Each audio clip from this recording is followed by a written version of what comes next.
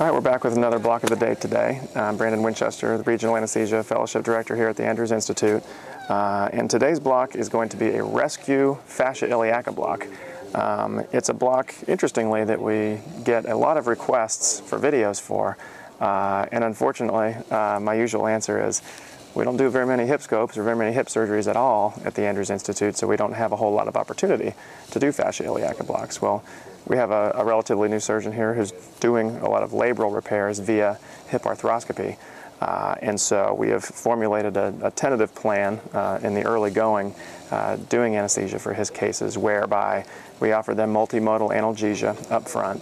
Uh, and as, if necessary in the recovery room, uh, after several different narcotic and non-narcotic options are employed, uh, if they're still having in severe or, or you know, close to 10 out of 10 pain, in this case anywhere above 7 or 8 out of 10 pain, despite all our best efforts, we're going to offer them a rescue fascia iliaca block. So that's what we're going to be doing today.